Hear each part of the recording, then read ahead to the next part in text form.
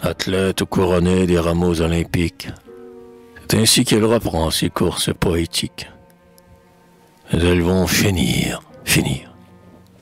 Et nul récit ne viendront sur sa trace appeler nos esprits. Pareil aux souvenirs que nous laissons au monde, qui flotte à sa surface un jour, une seconde, puis tombe dans l'oubli pour ne plus en sortir.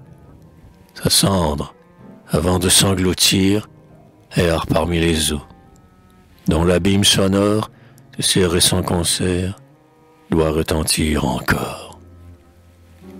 oh, mère, avait-il dit, emportez mes destins, où vous voudrez, partout, aux bords les plus lointains, quand vous feriez trembler les mâts de mon navire, comme un faible roseau qu'agite le zéphyr.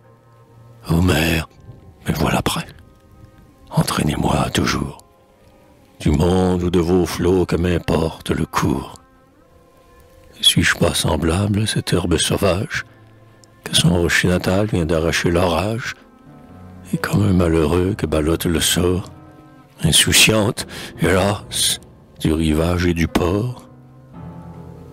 Hélas, c'est maintenant que cette destinée ressemble à l'herbe errante aux vents abandonnés, à ce flocon d'écume, un moment découvert, et qu'emporte, en roulant, la vague qui se perd.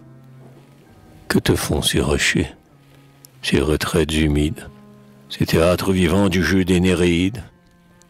En vain se Falini son climat d'azur, et les îles s'essaient, dont le ciel est si pur, voudraient te retenir. Tu ne veux qu'un asile, le seul de la patrie, où l'on dort si tranquille. Le navire de deuil près de Malte a glissé, le fier Etna brûlant sous un bandeau glacé, les gracieux contours des rives de Messine, le Vésuve au flanc noir qui de loin se dessine, ces corbeilles de fleurs, ces îles que nos yeux prennent pour des pays qui sont tombés des cieux, sont les muets témoins de ton muet passage.